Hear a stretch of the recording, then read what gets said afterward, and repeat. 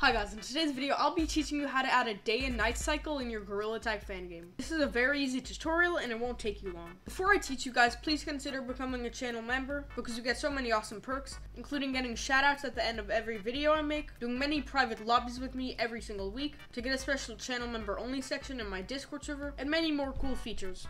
And make sure to join my Discord server link in the description if you need any help with my tutorial or if you just want to be in my videos, because that's the easiest way. Maybe leave a like and subscribe. Anyways, let's get straight into the video. Just in case you see anything extra here, it was just for another tutorial that I made, but it didn't end up working. So just ignore if you see something over there or there.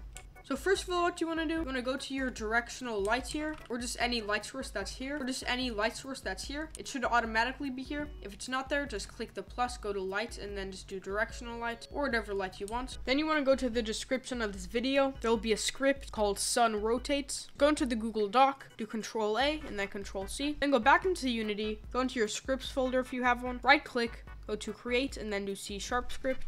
Just call it sun rotates and then click enter and then just double click on that. You will need Visual Studio Code. If you don't have it, it's fine, just get it. Then do Control A, delete that, and then just do Control V, and then save. then just close out of that script and click on the light source here and drag sun rotates right here. Here for current time, we're just gonna put that at 12.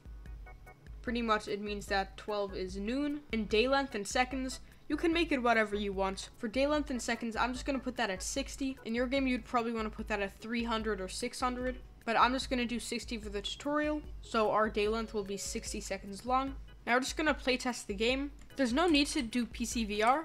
If you want, you can, but I'm not going to. I'm just going to click play here. So now if we go back to scene here, you can see that the shadows slowly start to go in.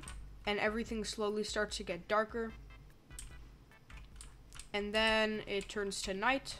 We can go back to game here and see it's night. Once again, I just put it at 60 seconds, so it won't be that long. This will work best in a map that's like actually has walls and stuff. Now, as you can see, the light's back, and there we go. So it's very simple. Please make sure to like and subscribe because it helps me out so much. Make sure to join my Discord server, link in the description if you have any questions or if something doesn't work, or to be in videos and stuff, or just to hang out with my awesome community. And once again, please consider becoming a channel member because you get so many awesome perks. Shout out to my channel members, they're on the screen right now. And anyways, guys, that's it for me today. Peace.